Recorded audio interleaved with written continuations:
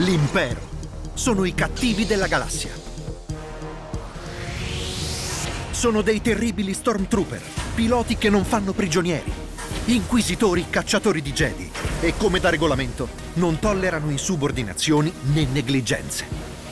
La flotta è composta dagli Star Destroyer imperiali, mastodontiche navi da guerra in grado di trasportare nugoli di cacciatai spaventando a morte gli avversari. Ma tutto questo è nulla rispetto all'arma definitiva dell'impero, la morte nera distruttrice di pianeti. In origine l'impero era la nobile repubblica, ma il suo ultimo cancelliere, Palpatine, si è autoproclamato imperatore con la promessa di salvaguardare la galassia. L'alleanza ribelle si è formata quando è stato chiaro che lo scopo dell'imperatore era di sottomettere i popoli. Alla fine i ribelli hanno trionfato, ma era in arrivo una nuova minaccia, il Primo Ordine, nato dalle profondità delle regioni ignote.